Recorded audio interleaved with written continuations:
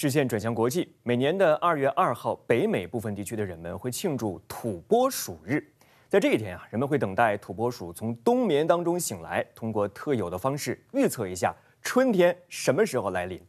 当地时间二号，来自美国宾夕法尼亚州的土拨鼠菲尔表示，冬天还要再持续一段时间。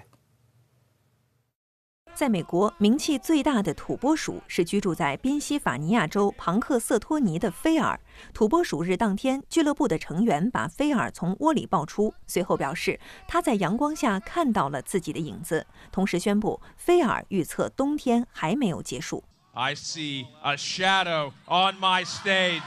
and so, no matter how you measure, it's six more weeks of winter weather.